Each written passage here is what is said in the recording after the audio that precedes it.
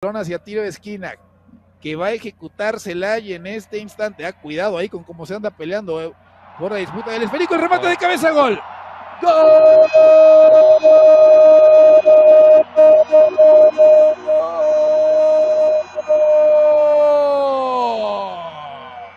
¡De Celaya! Leobardo López, el experimentado, el veterano Leobardo López, capitán del equipo de los toros, ganando ahí a primer palo, aprovechando toda su experiencia. Hay reclamos por parte de la gente de Tapatío con